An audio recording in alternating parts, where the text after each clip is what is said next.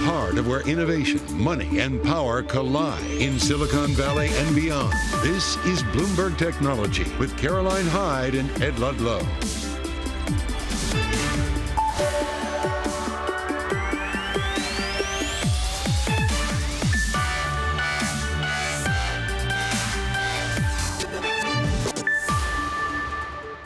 I'm Ed Ludlow in San Francisco. Caroline Hyde's off today. This is Bloomberg Technology. Coming up on the program, we'll bring you the latest updates from the Israel Hamas war and speak with Israel's first ever chief technology officer. And Microsoft and Activision closed the deal after nearly two years of fighting for the $69 billion transaction to gain full approval. We have full coverage ahead. Plus, we'll bring you more from our inaugural Screen Time event in Hollywood and hear from the CEOs of Netflix, YouTube, and also the head of the Kardashian clan. Uh, first, a very quick check in on financial markets. We are very conscious of what is happening in the Middle East, the focus on the war between Israel and Hamas. Your equity picture, NASDAQ 100 down 1.2, 1.3% on a weekly basis, just on track for a weekly gain. Its third successive weekly gain, longest run of weekly gains going back to early June. Let's see if that's where that holds. US 10 year yield, 4.6%. That's kind of in the region of where we've been. Is oil continues to climb. And actually, if you're in the tech sector, remember a lot of the conversation right now oil and energy, if we continue to rise higher, what does that mean for inflation? And in turn, what does that mean for the Fed? And what does that mean for the technology sector? Bitcoin at around 27,000 US dollars per token. How many times have I said that so far in recent weeks and months? The main story is still what's happening in the Middle East. And I want to get straight to the latest developments in the Israel Hamas war. Joining us from Tel Aviv is Bloomberg correspondent Oliver Crook. And Oliver, let's be frank, a lot has happened this Friday. It has been completely intense 24 hours. It really started at around 5:30, 6 o'clock this morning when we got that initial sort of evacu- evacuation order from the Israeli Defense Forces, where they told uh, the residents of Gaza City in northern Gaza that they should leave the area, and that is sort of how the day began. And the UN said that that is basically an impossibility. It's an important um, to get these people out, says the Israeli Defense Forces, because they want to minimize civilian um, casualties. But we're talking about displacement of 1.1 million people. That is about half of the com- uh, the population of Gaza, and to then compress them into about 50% of the space that they began with is something that the UN is saying is going to turn tragedy into catastrophe. And the tragedy we're talking about is a death toll that has exceeded 1,500 people in Gaza. The healthcare system is entirely overwhelmed. They have no water, electricity, food, internet. And Israel overnight continued to strike 750 military targets. And of course, this is all in response to the attacks on Saturday that left, now we know, 1,300 Israelis dead, um, mostly on Saturday and mostly civilians. Uh, Oliver, it's a frankly incredible list of developments. As you say, it's been a sort of 24 hour process. There is a bigger picture question about the Middle East, and, and you have been on the ground there in Tel Aviv, but also thinking about neighbors and, and what else is in the news cycle. Completely. The geopolitical complexities here are absolutely vast. And, you know, so it comes with a lot of support from Western allies to Israel. So it started with Blinken yesterday. We have Ursula von der Leyen here today, the U.S. Defense Secretary also here today. But yesterday, Blinken's message, there were really two of them. There was one of sort of total and unconditional support, but then a second message. And that message is about how Israel goes about taking out Hamas is going to be very important. What Blinken said is that it's so important that every possible precaution to avoid harming civilians is taken and that we mourn the loss of every single innocent life. This obviously is the background to all of the meetings that Blinken has conducted today. Right now, Antony Blinken, he just gave a press conference with the um, Qatari foreign minister. He's in Qatar. He's meeting with the Saudis, Egyptians, um, uh, you know, the UAE. And this is the conversation that you're going to have everywhere. Just as Israelis were seeing all these horrific pictures on their phones and that sort of put pressure on the government even more, all of the Arab world is seeing what's going on in Gaza, and you've seen protests in the streets of Iraq where there have been burning uh, Israeli flags but running uh, uh, Palestinian flags. The West Bank, there have been protests. Lebanon, Pakistan, yeah. Yemen, and Iran has been meeting with the leadership and with Hezbollah and Hamas in Lebanon today. So really, a really very complex situation. And again, these these countries are going to come under immense pressure themselves. Later on in the program, we are going to continue to have the conversation about social media you know, Bloomberg has reported extensively. We have discussed on this program that there's video content on lots of platforms that is circulating that purports to be one thing and in fact is another. It is not what it purports to be. And so, you know, experts, the government urging caution on that front. There's an issue of logistics and mechanics as well, Oliver, that you on the ground are starting to, to cover and understand. An evacuation and then, you know, defense, Iron Dome, the role of technology. What have you learned since arriving in Tel Aviv? Yeah, so there is the question of Iron Dome, and could it, you know, potentially be depleted or overwhelmed? And this sort of hangs over. We understand that some of the sort of ammunition for Iron Dome from the U.S. supplies that is here in Israel was transferred today. We know that the U.S. has sent equipment yesterday, and that there is um, more on the way. But there is not. It's not really known how many rockets Hezbollah has, for example, in Lebanon, and many of these are are far range rockets. I mean, I, I had the first air raid siren go off today in Tel Aviv just about two hours ago. That's the first one that we've had so far, and that apparently was fired from Gaza. But this really highlights the risk, potentially, uh, particularly um, as Israel seemingly is gearing up for what you know could be a ground invasion. You have more than 300,000 troops that are stationed right near Gaza. The government has not said whether or not they're going to launch that uh, attack yet, but again, they've asked to evacuate the northern part of the city. And if they do in fact attack, that just opens up a whole other set of questions about how do they go about uh, this. And also, they relinquish many of their technological and military advantages once they get into a sort of urban combat zone. And then, even if they do eliminate Hamas, what do they do next? What is the exit strategy? What comes after that? These are all the questions that we're going to have to be asking for the next days and weeks. Uh, Bloomberg television correspondent on the ground in Tel Aviv, Oliver Crook. Stay tuned to Bloomberg, all channels, but Bloomberg television in the coming days. Oliver, thank you for reporting. We stay with the story of the Israel Hamas war, but think about technology. Joining us now is Yonatan Adiri, who served previously as Israel's first CTO. And, and Yonatan, let's start there. I think Iron Dome in particular, um, your assessment of the role technology is playing in the Israeli response to the weekend's events? First of all, Ed, thank you, thank you for having me uh, on the show. Um, the, the, the, the, events started on uh, Saturday morning uh, with this ISIS-type massacre of, of innocent civilians. Now to only get north of 1,200 people have really challenged Israel. Uh, but you know, if to paraphrase from the American uh, national anthem, Israel is, is the, the land of the free and home of the resilient. And I'm sure that with technology, um, we're going to persevere, we're going to win this one, and continue to contribute uh, to the way in which global uh, uh, humanity is dealing with its, with its top challenges through technology. Um, this is not just Israel's technology in defense. Israel's a powerhouse of technology in solving and tackling the biggest problems facing humanity. And, and our ecosystem is is uh, committed uh, to that to its role uh, within this global context. Yonatan, one area of the technology discussion is in intelligence and data. And, and, a, and a debate that's taken place on the show this week was about the preparedness of Israeli intelligence forces. Um, we had one academic on the show who said it wasn't a lack of intelligence, but simply a lack of uh, imagination at the scale of what Hamas would, would be able to have done. Please reflect on your experience as, as the chief technology officer of the country and, and, share with our audience what you know Israel had in place uh, in recent times in the, in the areas of defense intelligence. Well, I think that, I think you're totally right, Ed. Uh, spot on. Uh, Israel has deployed numerous technologies. I think the core one, as you've discussed with Oliver, was was um, Iron Dome. I remember in May 2009, uh, I was on President Peres's team as we came to meet President Obama in the White House right after the inauguration. Technology was a big part of that. Defense technology was a big part of that. But I think you're you're totally right about the uh, limitations of intelligence uh, technologies as to the imagination gap. Intelligence technologies provide us with data.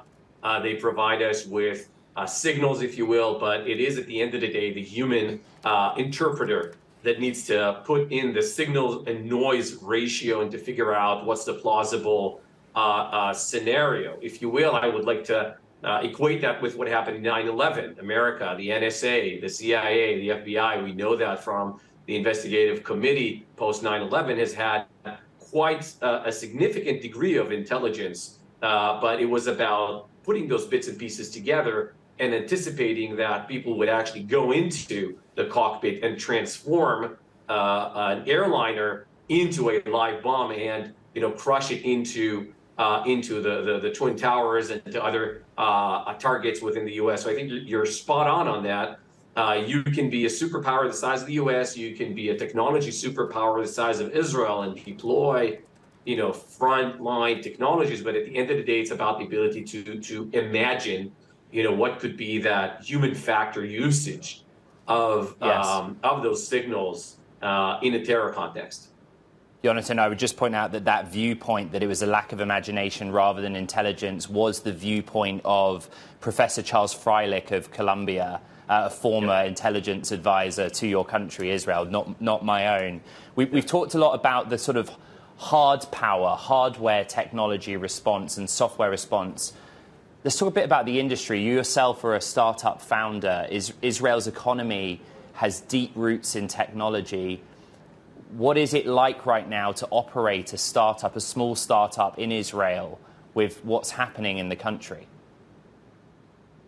Well, I think you know fun, fundamentally, Israel's had a in over the last just week a ten trillion dollar worth of market cap vote of confidence, if you will, between Microsoft, Apple, Google, uh, Amazon, Nvidia, who all have deployed uh, significant parts of their R&D. Intel has their um, autonomous car brain here in Israel. Uh, Apple runs part of its design of chipsets and semiconductors. So does Intel. Again, uh, Google has a, a, a very uh, profound base of R&D in Israel. They have all Andy Jassy at Amazon, Sundar Pichai, and, and Jensen Huang. The leadership of those companies have um, uh, unequivocally supported Israel and the ecosystem here. Um, if yes. you add two to three trillion dollars more of support in what, what's going on here in the life sciences industry, in the cyberspace industry, I would say that part of what enables our conversation right now and for the viewers at home, uh,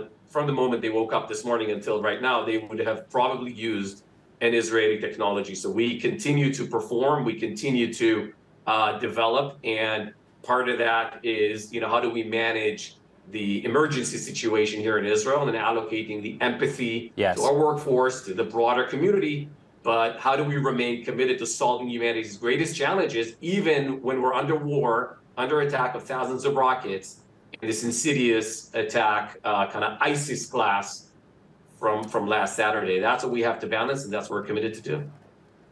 Uh, Yonatan Adiri, founder and CEO of Healthy.io, but also former CTO of Israel, the first CTO of Israel. Thank you for your time. And he mentioned Jensen Huang, a programming note that NVIDIA had been due to hold its AI summit in Tel Aviv on Sunday, Monday, but it was cancelled given the events of the week. Now, coming up here on Bloomberg Technology, we turn to M&A as the biggest deal in gaming history has finally come to fruition after UK regulators approved Microsoft's revised offer to buy Activision Blizzard. We will have all the details next. This is Bloomberg Technology.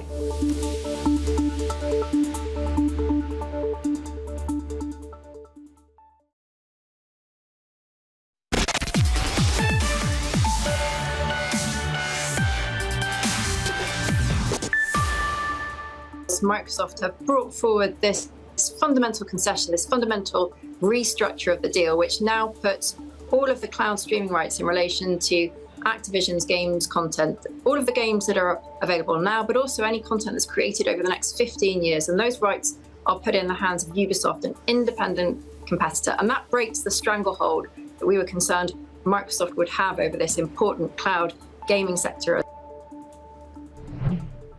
was the UK CMA CEO Sarah Cardell on the deal, joining our colleagues earlier today. For more, let's turn to Cecilia D'Anastasio, who's our video game reporter here at Bloomberg. Okay, it's happened. It's done. It's happened. But it's, it's happened. Let, us let, go back to the, the origin of this, because everyone forgets. Because the discussion about, from the regulators about cloud. This is about mobile gaming, right? What is it that Microsoft now is going to have to do with Activision to catch up in mobile gaming?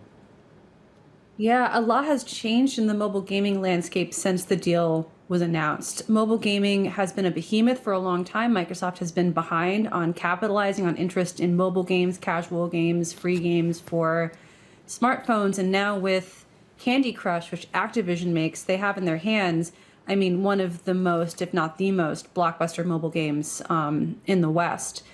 And you know, it's it's interesting because at the same time, the mobile gaming industry, since this deal was announced, has experienced a contraction. It's oversaturated. So it'll it'll be interesting to see how how Microsoft leverages all of their power to capitalize on Candy Crush and other mobile games under Activision.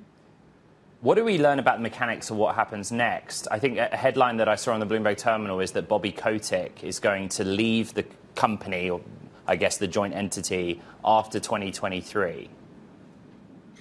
Yeah, so Bobby has led the company for decades and brought it to where it was today. And he has said that he will step down at the end of this year. And until that time, we'll be working under Microsoft's gaming chief, uh, Phil Spencer, who um, became famous through stewardship of Xbox. When last it was disclosed, Activision had like 13,000 employees. This deal has dragged on taking Activision and merging it with Microsoft is not going to be straightforward. Just as a, a beat reporter who knows this industry inside and out, how do you think that's going to go?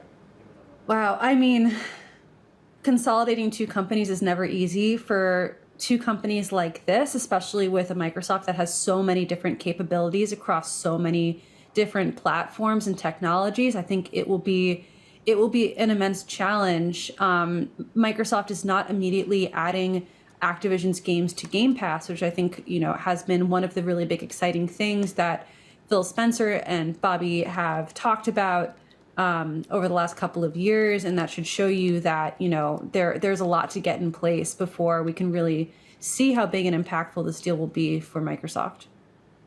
All right, Bloomberg, Cecilia D'Anastasio all across this deal for months and months and months. Thank you very much. Now, coming up, what the future of streaming holds. Our conversation with Netflix co CEO Ted Sarandos out of Bloomberg Screen Time. That's next. This is Bloomberg.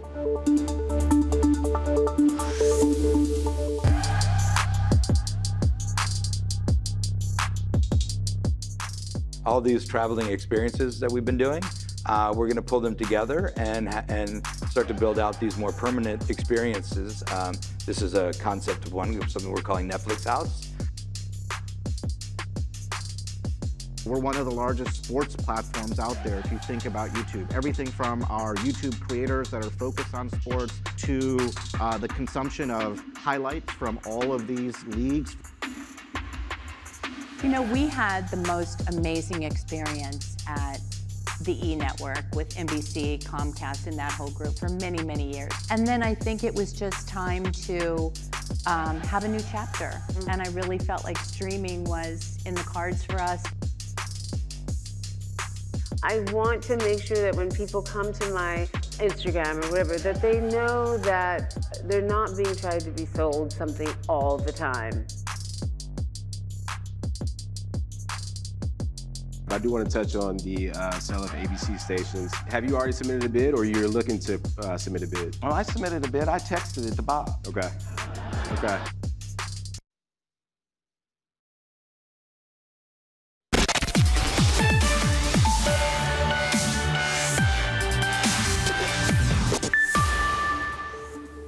Okay, time for talking tech. First up, the king of K-pop is building the next BTS in LA. Bang Si-hyuk founder and chairman of HYBE, wants to replicate the formula that changed the pop music industry while the world's biggest boy band is on hiatus. He also discussed the role of AI in K-pop with Bloomberg's Suhee Kim and Lucas Shaw. 사실 음악에 대해서는 그 여전히 조심스러운 부분이 있다고 생각을 합니다. 어떻든 AI가 아티스트의 창조성을 돕기 위해서 사용되어야 하지 AI가 더 먼저 나서서는 안 되는데. One for the K-pop fans now. Netflix co-CEO Ted Sarandos also spoke at the Bloomberg Screen Time event in LA on a wide range of topics, including the actors' strike, cracking down on password sharing, and reflecting on the pace of streaming in the medium industry. Have a listen.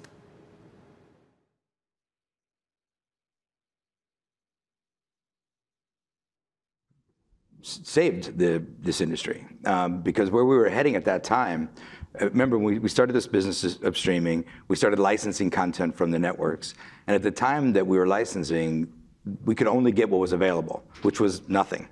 So we were licensing from the bottom of the barrel, things that had no revenue for anybody, uh, shows that didn't get to syndication, things that weren't otherwise sold. Kind of like what Tubi and some of the AVOD services Yeah, did when right. they came around, we- where they started. And we gave it away with the DVD business. Uh, and it was, you got what you paid for back then. uh, but I'd say what happened was that's created a whole new revenue stream for the networks and the studios. It created a whole new residual revenue stream for actors and performers who performed in those projects that were sitting on the shelf. Uh, and really kind of got the ball rolling in a way that you know that we've you know obviously I think these, these things can take decades to build, but with their big meaningful businesses, they you know that's that's a good investment. And I'd say good good business for us. It's a, you know 32 billion dollars of revenue and six billion dollars of profit, and we've been growing the business pretty dramatically and pretty quick. We grew pretty quickly. Uh, we're not growing as fast right now as we want to, but we are still growing the business. So I'm curious on that point because you, you guys in your remarks, I think your last earnings report talked about how you still aren't growing as quickly as you'd like to. There was a point in time where every year, like clockwork, Netflix would basically add 25 million to 30 million customers. Yeah. That obviously post-pandemic has come way down. Yeah. What are you doing about that? And do you think you can get back to the level of growth you were at three, four years ago? Look, I think the key to it is you know growing the, growing revenue, and I think for us that's a combination of you know putting a great product on the board. Uh, when you talk about is streaming a good business, it is if you do it well.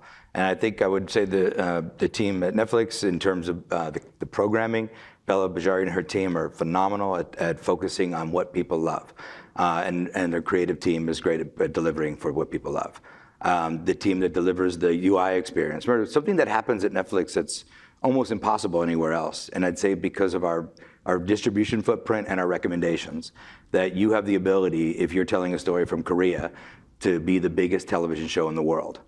That can only happen on Netflix. Um, I, and it's not just taking obscurity and making it big. Imagine uh, somebody as big uh, uh, as David Beckham uh, who releases his documentary on Netflix and in days grows his social media following by half a million people.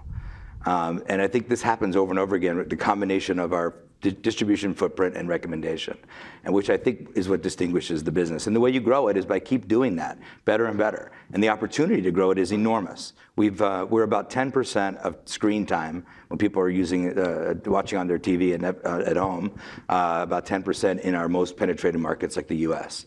Uh, around the world, we're significantly smaller. Uh, we're about 5% of consumer spending in the businesses that we're in, uh, which is you paid television, advertising supported television, and games. And so as you look at that, of the air, and we're just in our infancy in those businesses, and about 5% of consumer spending. So we've a ton of room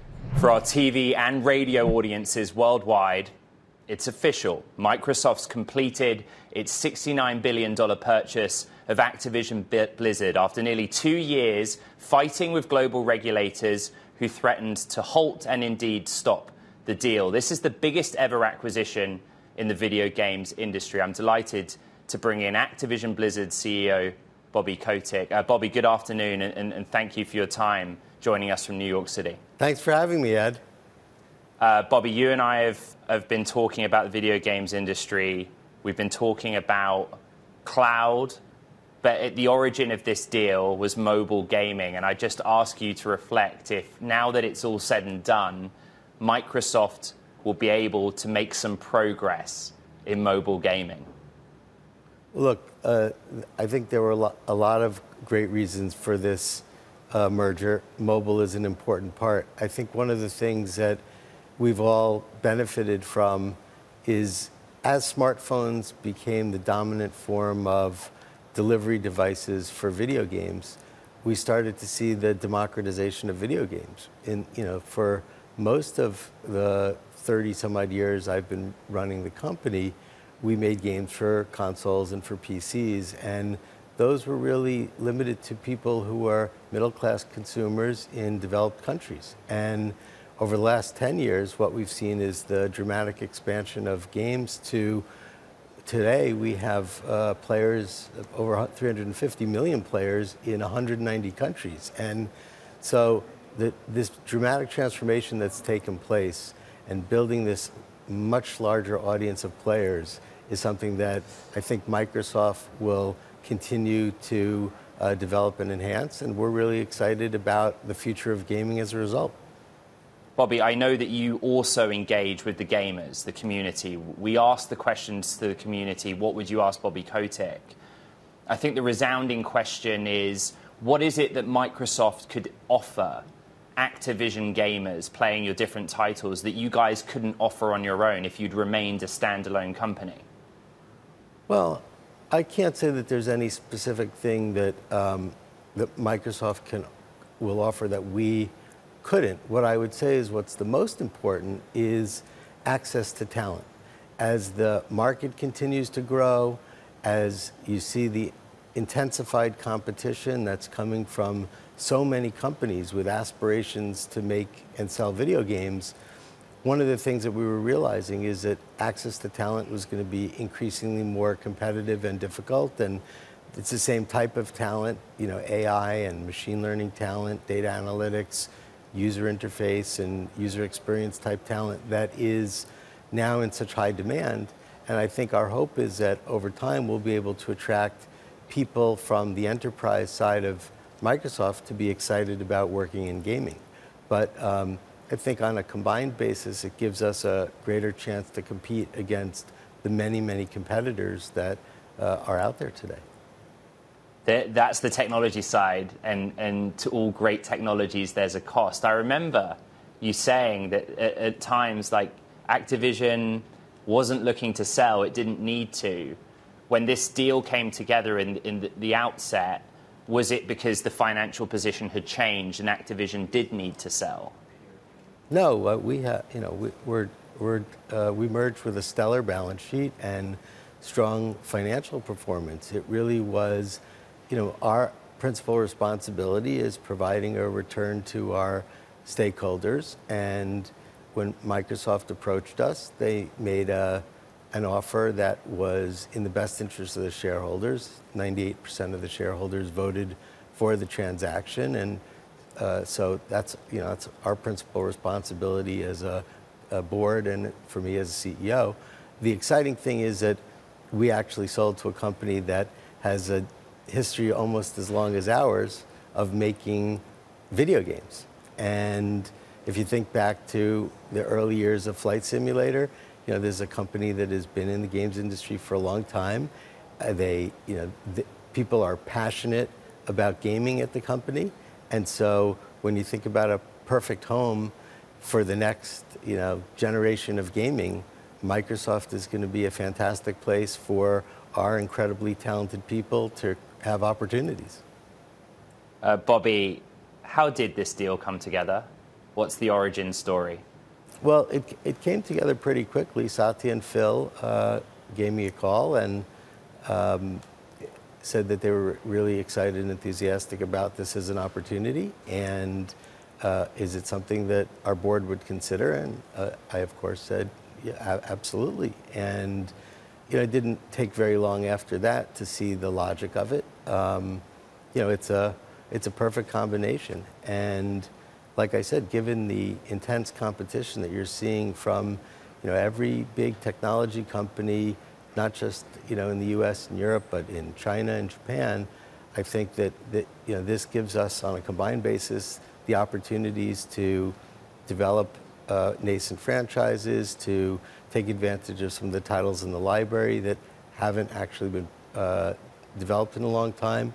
You know, right now is a it's a really great moment in gaming. There is enormous innovation taking place. We're about to launch a new Call of Duty game in the next few weeks and a new season of Diablo, and you can actually see the changes and the benefits of new technology in games like Call of Duty we're seeing an expanded reach of games like Candy Crush, to, which now you know, is probably something like 130 million monthly active users. And so this is just an exciting time to be in the gaming business and an even more exciting time now that we have this transaction completed with Microsoft.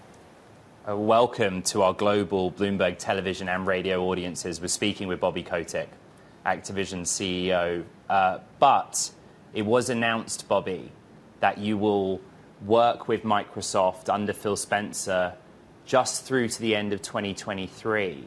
This is the biggest deal in video games history. Activision has more than 10,000 staff. Is that enough time? Uh, or, or, I guess my question, why, why not stay on longer? Uh, you have run this company for almost three decades.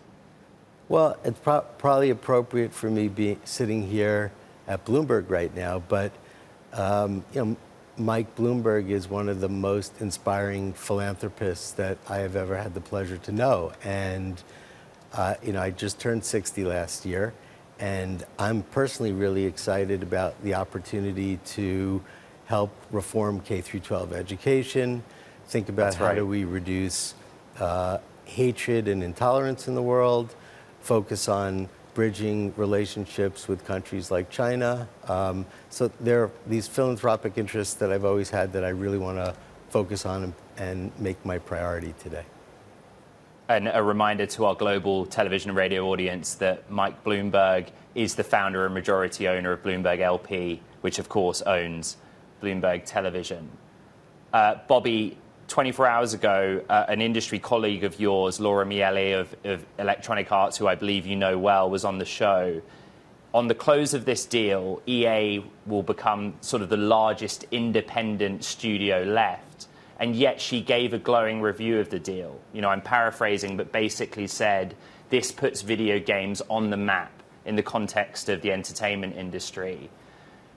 But she also conceded that EA is a target right? And, and I wondered if you'd reflect on the, the years of negotiating with regulators to get this deal done, if you think that an EA can re- remain de- independent, or if this opens the door to consolidation. Well, EA is a fantastic company.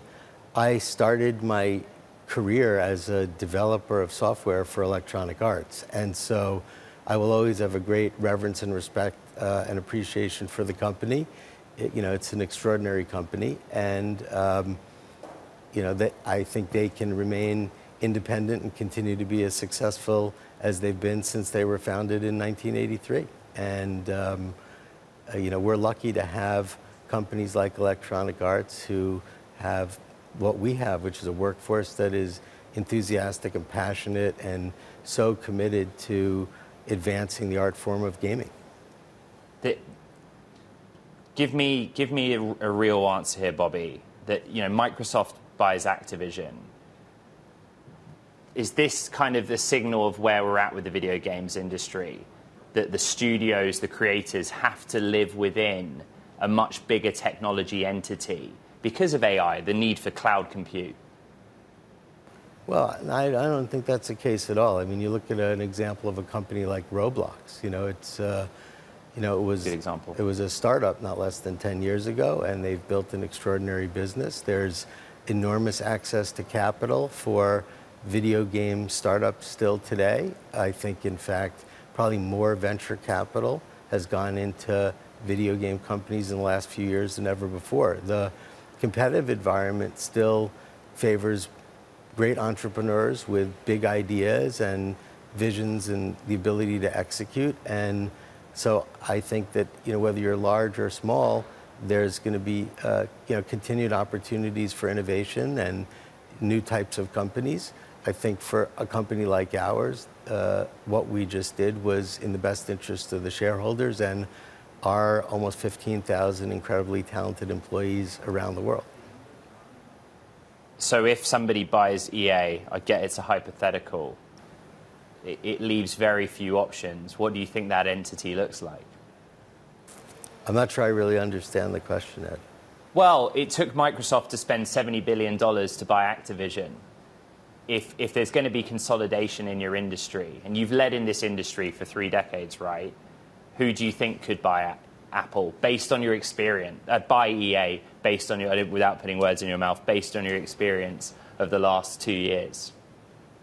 Oh, I wouldn't want to speculate. I mean, there are just so many, you know, business combinations that are possible, and uh, but I, I don't have an informed view of that sitting here today. Phil Spencer, what task does he have to take all of the people working at Activision and bring them into Microsoft?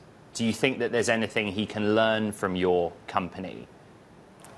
Look, we have a fantastic company with an extraordinarily talented uh, workforce. People are passionate, motivated, enthusiastic, excited about this merger. And Phil is an extraordinary leader.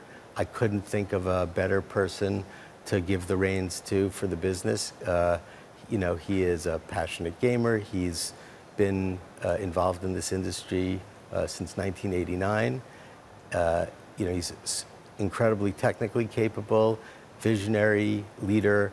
People love working with him, and I think it was actually one of the really appealing parts of this transaction was to know that the people that I've worked with for three decades are going to have a leader who is extraordinarily capable and passionate and compassionate and will do a wonderful job leading the combined companies.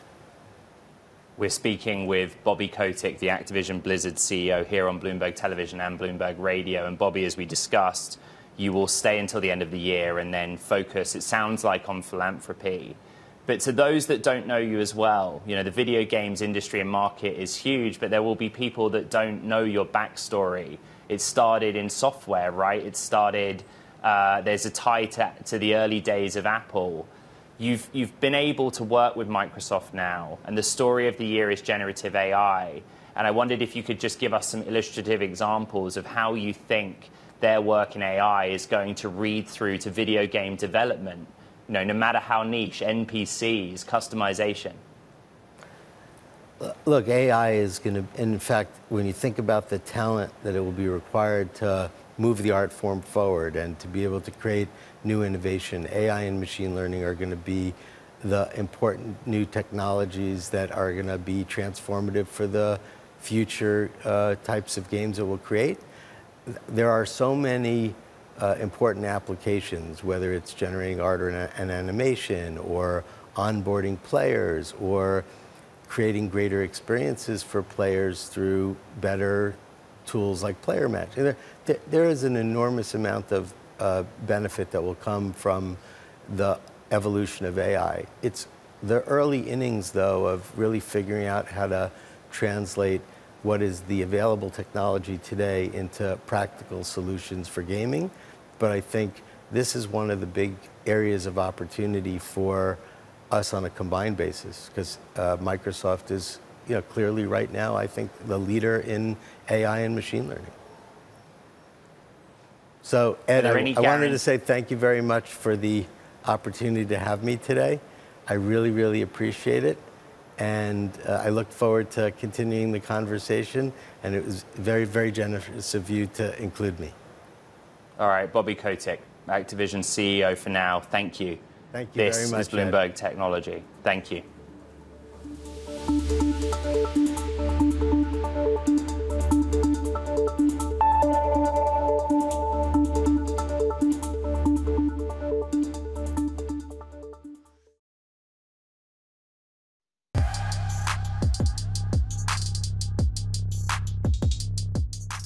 All these traveling experiences that we've been doing. Uh, we're going to pull them together and, and start to build out these more permanent experiences. Um, this is a concept of one, something we're calling Netflix House. We're one of the largest sports platforms out there if you think about YouTube. Everything from our YouTube creators that are focused on sports to uh, the consumption of highlights from all of these leagues. You know, we had the most amazing experience at the E network with NBC, Comcast, and that whole group for many, many years. And then I think it was just time to um, have a new chapter. Mm-hmm. And I really felt like streaming was in the cards for us. I want to make sure that when people come to my Instagram or whatever, that they know that they're not being tried to be sold something all the time. I do want to touch on the uh, sale of ABC stations. Have you already submitted a bid or you're looking to uh, submit a bid? Well, I submitted a bid. I texted it to Bob. Okay. Okay.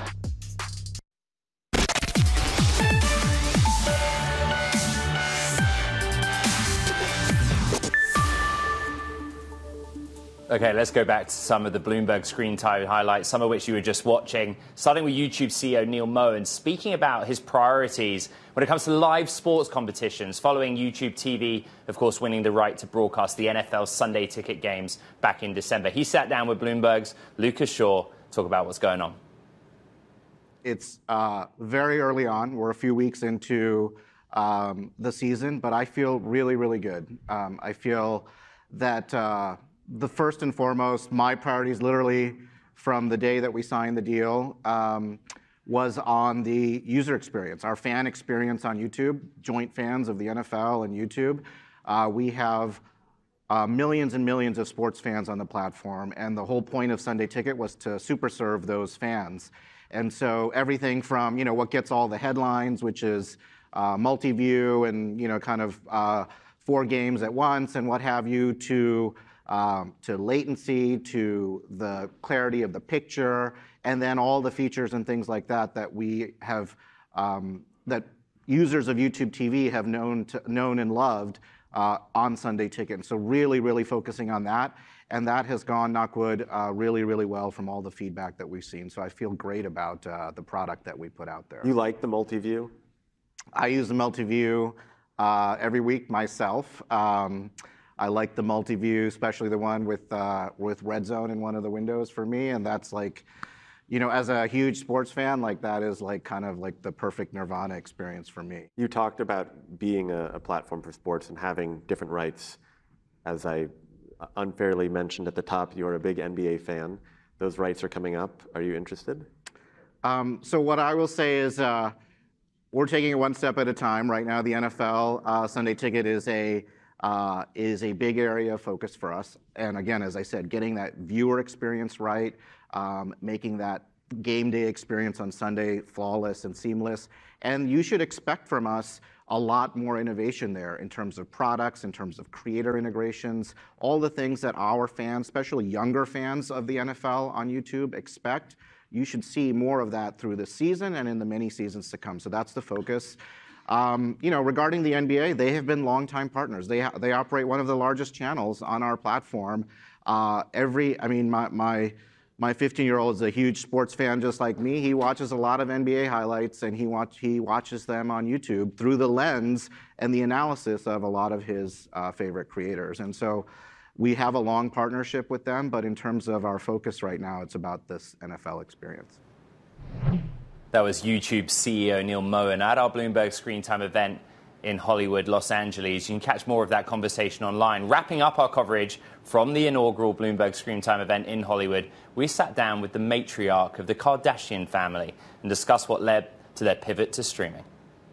I really felt like streaming was in the cards for us, and my family really wanted to try and um, tried to take a stab at that because that was really the future in our minds. We wanted to elevate what we were doing and um, and streamline the show and have it have a new audience. Yeah. With you know, it's now it's Hulu and Dis- Disney Plus around the rest of the world, and the show's always been in so many countries and so many languages, and we have such an amazing following. And that transition for us, we were very lucky because we kept that audience and gained new audience, new friends, and we still have a wonderful um, relationship over at E. They're still airing some of our shows, and so it makes it nice because now it's a much broader audience. You keep saying lucky, and it's interesting because it wasn't luck that first brought you to thinking about infomercials, about seeing what perhaps you hadn't seen at the time, which was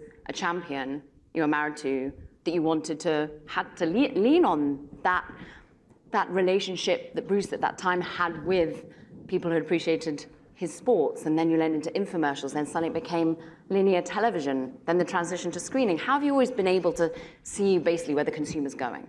I think I, I, I do like to lean into opportunity, and I do like to think about what the next thing could look like. And in those days when it was about, okay, we have bills to pay, kids in school and things going on, and how is this going to happen? And I just had to really figure it out.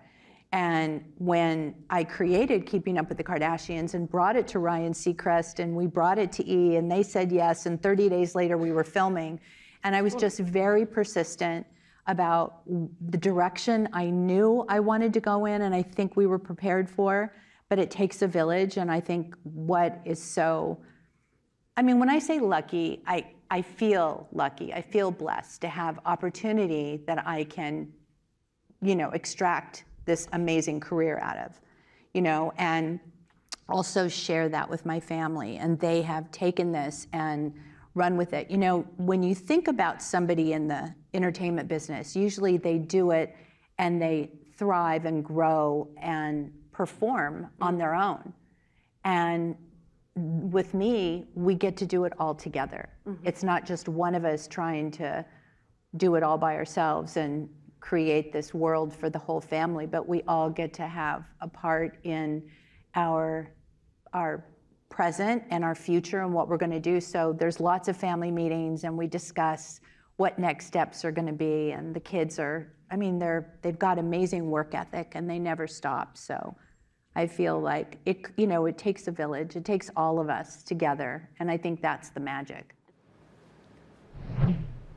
Kris Jenner there from our first ever screen time event in Los Angeles. Well, that does it for this edition of Bloomberg Technology. Don't forget, check out the podcast wherever you get your podcasts Apple, Spotify, iHeart, and of course, on all of the Bloomberg platforms. That wraps it up for what's frankly been one massive week in the world of technology.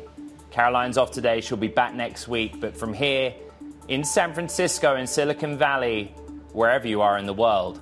This is Bloomberg Technology. フフフフ。